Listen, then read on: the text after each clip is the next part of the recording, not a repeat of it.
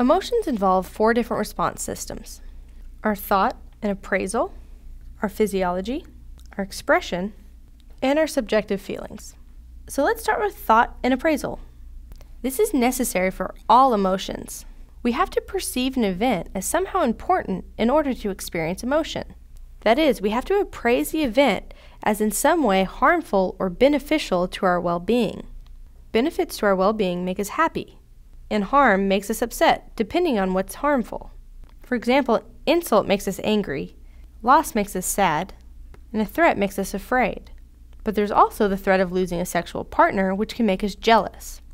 Now, these are perceptions, they don't actually have to be accurate. Misunderstandings cause the exact same emotional reaction as an accurate perception. So, whether we're really losing our sexual partner doesn't necessarily matter as much as the perception of if it's happening or could happen.